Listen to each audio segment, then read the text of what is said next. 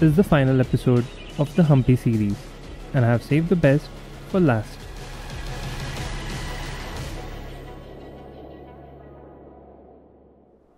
Virupaksha temple is the 7th century Shiva temple and the oldest one located in Hampi. It is located next to Hemkutta hill and there is plenty of parking space available towards the east side for you to park your vehicle and reach the temple.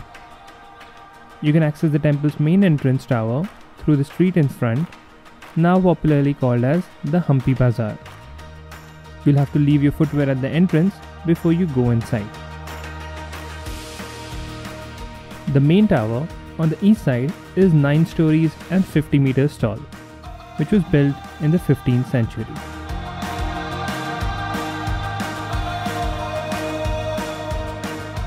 Soon as you enter the Virupaksha temple, you have three things to notice. The first one is a Nandi, which is three headed, which is quite unique from the other places across the world, and it's supposed to stand for creator, preserver, and destroyer basically, Brahma, Vishnu, and Shiva it was the original Nandi statue which was inside, but because one of the uh, heads is broken over there, it's been replaced. Once you're done with that, if you take a look at the entrance, you will see a metallic frame that was created and put in by the Britishers because the structure was actually weakened and it was going to fall. So you can see that as well. And the third thing, as soon as you enter, is the emblem of Vijayanagara Empire over here.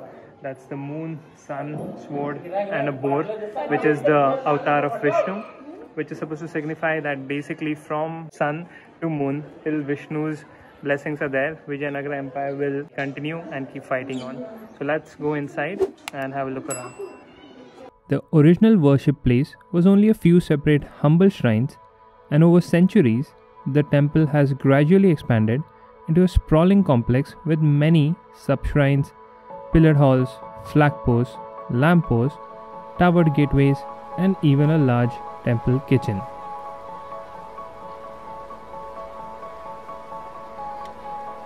Once you enter the second courtyard, you will be greeted with an elephant named Lakshmi who lives inside the temple complex.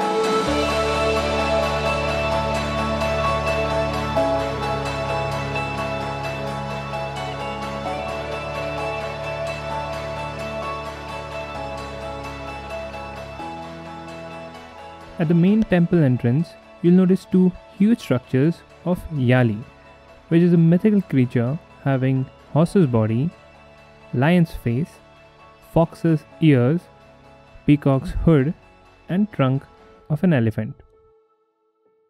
Look at the roof over here, you'll see there are a lot of colors which have been used.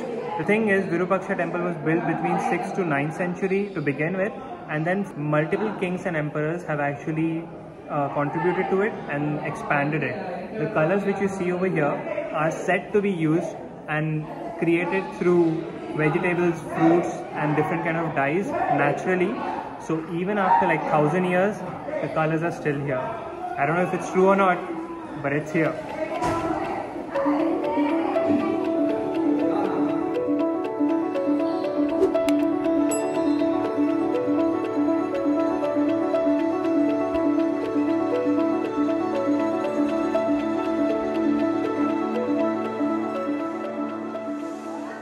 So if you notice all the pillars here are of a different structure.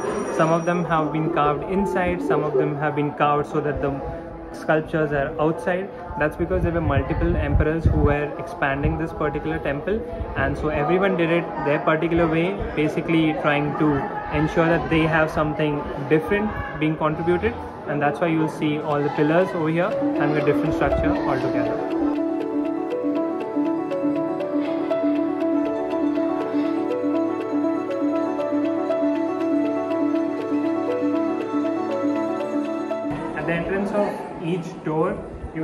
these big rocks. And on that you have these inscriptions basically tells you which king did what who got funded and how was that fund used. All those things are written over here. Obviously we can't read it it's in a different script altogether but that's where you will find it. After exiting the temple, we decided to catch the sunset from Matanga hilltop. Right now I'm starting on the Vijay Vittal Bazaar and you can see there's a huge stretch leading you all the way to the temple. This particular place was the one where a lot of foreigners used to come here, Asians, Persians, Arabians for trading horses, for trading gold, silver, spices, pearls and so on. At one point of time, it is said that there were more foreigners in this particular location than the locals. You can take your vehicle all the way to the base of the hill as well.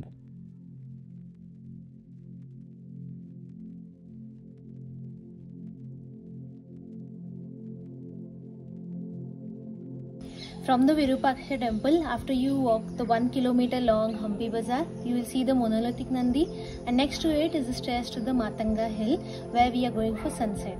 That was the original plan, and we did do it, but we trekked our way from the other side of the hill, that is, from the east side next to Achyutaraya temple.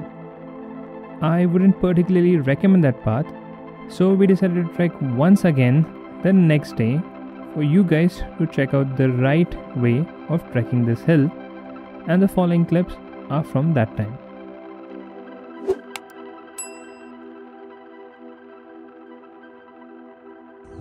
This is the starting point for Matanga Hill and you gotta go all the way up there to catch the sunrise or sunset. There's another path to go to Matanga Hill which is right from there.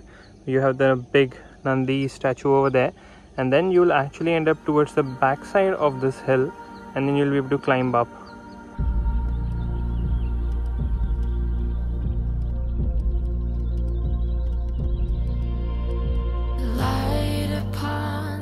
And here we are again, whether it's Bangalore, Chikmagalur or Hampi, trekking another mountain and trying to see the world from a different perspective. Oh damn, I love the mountains so much.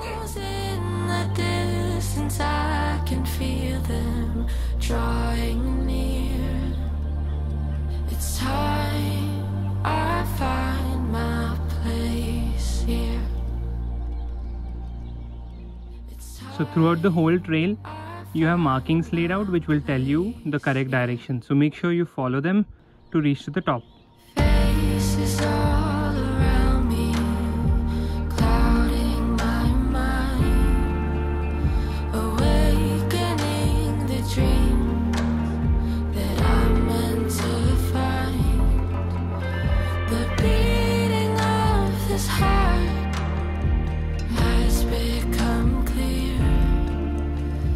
Just five minutes into the hike and you can see Virupaksha temple over there.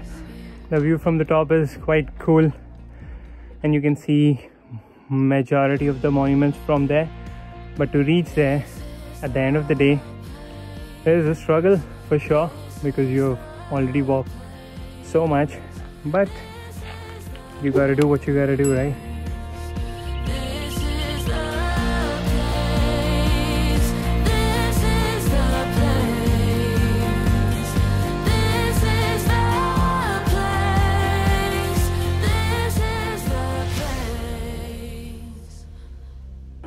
So after a 10 minute hike, we'll come across the final stretch which you see over here, which is slightly tricky because on the left side if you notice, there isn't much support. So be careful, go slowly, take your time and enjoy the hike.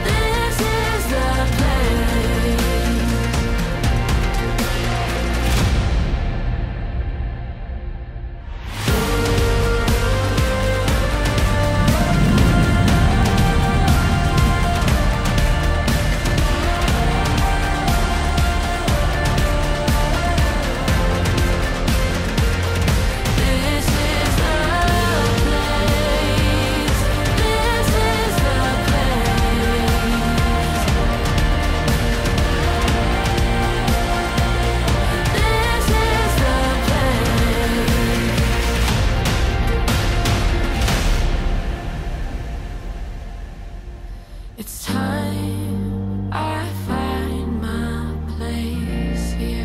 And with that sunset, it's a wrap on Hampi series. Hope you guys enjoyed this video. And if you did, make sure you hit the subscribe button, leave a like, and until next time, have a good one.